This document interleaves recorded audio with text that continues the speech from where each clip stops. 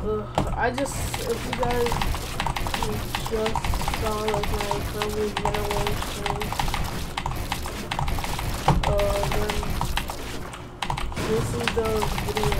I'm probably not gonna post, but